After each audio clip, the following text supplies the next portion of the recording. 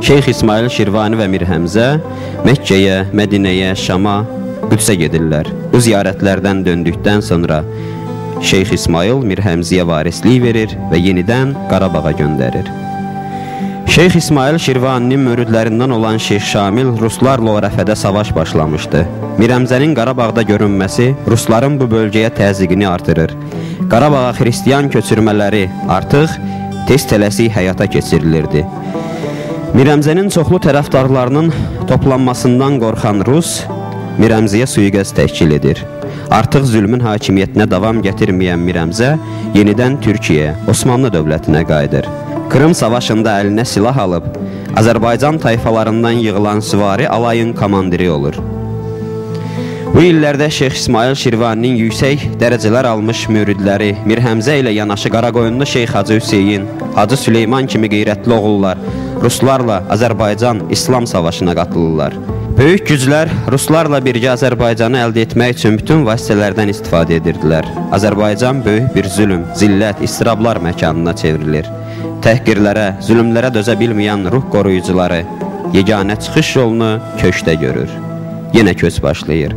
Şeyx İsmail Şirvaninin, Mir Əmzənin, Qaraqoyunlu Şeyx Hacı Hüseynin izi ilə 50 min insan Amasya, Sivas, Zilə, Mirzafon, Harput bölgələrinə köç edir.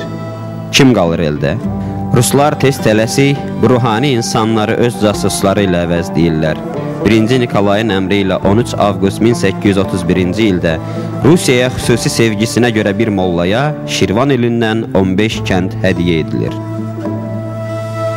1878 ildə Osmanlı-Rus muharebesinde o 93 Harbi diye bahsedilen zamanda oldu ilk göç. Ondan sonra 1912-1915 yılları arasında ikinci bir göç. O da Batum'a kadar yayan gelip Batum'dan gemiyle Samsun'a, Samsun'dan da Şeyh Hamza Hazretlerinin müritleri olarak da Şirvan mahallinden, Şamakı denilen de o bölgelerden gelenler e, Şeyh Hamza Hazretleri Amasya'ya gelmiş, yerleşmiş daha evvelceden. Ve onun peşine gelen müritler de Amasya'da onun yanında Zile var. E, Amasya'nın o tarafında Zile bölgesinde. Biz de gelince Zile'nin Küplüce yaylasına bize iskan vermişler ilk geldiğimizde. Ondan sonra bu bölgelere doğru yayılmışız bir şeyde. Bizimkiler geldikleri zaman burada bir miktar pulları varmış da Kızıllar ellerinde. Cennet Mekan Sultan Abdülhamit Han, onlar benim akrabalarım, boğumlarım hesabından. Biraz bir miktarda e, o yardım etmiş ve burada bir yayla kalmışlar. Yayla, siz şey diyorsunuz değil mi? Yani. Orada bir miktar hayvancılıkla uğraştıktan sonra bu Aram bölgelere doğru yayılmışlar. Bizim burada Amasya bölgesinde 12 pare Azeri köy var. Azeri Türklerin yaşadığı köyler var. Bunlardan biri de benim yaşadığım Çayözü köyü.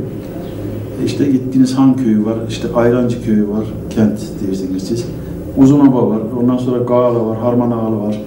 Mercuz tarafında Guyucak var, Bayındır var. Vesselam 12 pare sadece bizim bu bölgede Azeri köyleri var. Zile'nin Güplüce yaylası var. Bizim ilk mesken tuttuğumuz yerler yani. O bölgede e, Lap köhne Azeriler yaşıyorlar. Bir de bu Şeyh Hamza Hazretlerinin müritlerinden e, Cafer Bey var. Onun oğulları da orada yaşıyorlar. Yenə tarix, yenə keçmiş. Ruslarla savaşdan geri döndükdən sonra Mir Həmzə Ərzuruma qayıdır. Buradan yenə İstanbula gedir. 1859-1862-ci illərdə ailəsini də Qarabağdan Amasyaya gətirir. Ruslarla mücadiləsi isə bitmir. Şeyx Şamilin oğlu Qazi Məhəmmədin mürşidi olaraq söylənilir. Amasyada onun dərgahında yer almaq, söhbətlərində iştirak etmək istəyənlər qısa bir vaxtda çoxalmağa başlayır. Hətta Amasya müftüsü Hacı İsa Əfəndi müftülüyü buraxıb Mir Həmziyə bağlanır. Ancaq Osmanlı dövlətində qızılbaş olaraq göründüyü üçün Harputa sürgün edilir. 1886-cı ildə Harputda vəfat edir. Şeyx İsmail Siracəddin Şirvani də Amasyada dəfn olunub. İndi onun dəfn olduğu yer Şamlı camisi olaraq bilinir. Mir Həmzə də Amasyada dəfn olunmasını vəsiyyət edir. Oldukça fazla bir taraftar kitlesi topluyor. Ayaklanma yapacağı düşüncesi de buradan sürülmek istemiyor. Ve Abdülhamid'in annesi zatın müridi oldukları için Onun kellesi bağışlanıyor, nereye istersin deniyor ve Harput'a gitmek istiyor. Harput'ta 6 ay kalıyor ve rahmetli oluyor. Harput'tan bir yaz günü cesedi Amasya'ya defnedilmek üzere getiriliyor. Yalnız 6 gün süren bu yolculukta cesette en ufak bir kopma, bozulma meydana gelmiyor. İşte o yüzden bir veli kul olarak kabul ediliyor.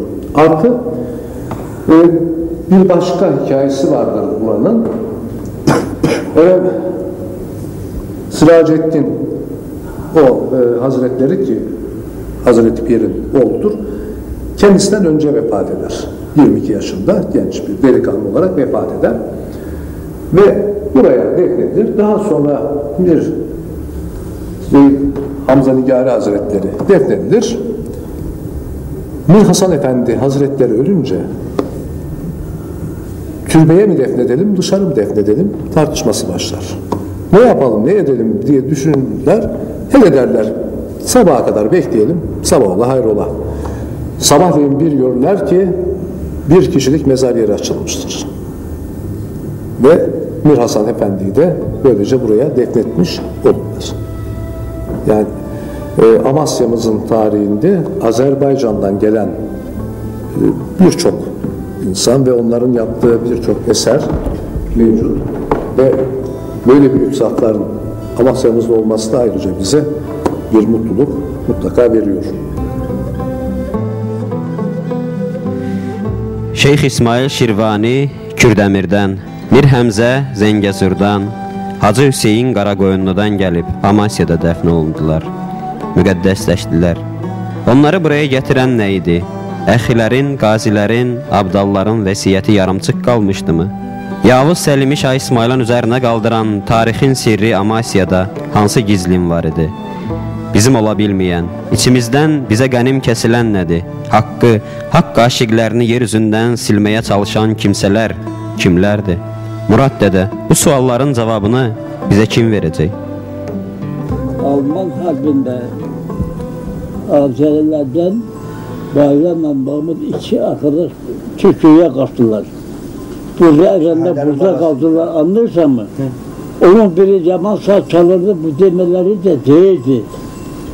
Anlıyorsan mı? He, bayram saç çalır. Bayram Sağ çalırdı bu demeleri. gene düştü. Babam yanına oturdu. Babam ağlıyordu. Usta çal deme beğendi anlıyorsan mı? Anlayırım, anlayırım. O Ferman benim evime geldi buraya yanında oturdu. Ferman büyük mühendisi buradaydı. Bilmirsen mi? Bilmez. Bilmez Murat Ya. Bey. Bilirsen mi? Yok, yok. Bilmirsen. Böyle konuştuk konuştuk çıkara yaptı. Bizim Ferman bu çıkarı içmesen iyi olur dedi. Bana ne dedi biliyor musun? Azizem batan yakşı. Giymeye keten yakşı. Gezmeye yat ülkeler, ölmeye batan yakşı. Ülkemi arzulayın ne gayrı var ol dedi, içilen dedi. Canım sıkıldı ya da ülkemi arzulayın dedi. Anlıyorsun değil mi? Anlayırım. Ya onu da bir aşık Ebrahim söyledi, dedi, birini söyledi. Ardından batan yakşı, giymeye keten yakşı. Gezmeye yaz ülkeler, ölmeye batan yakşı.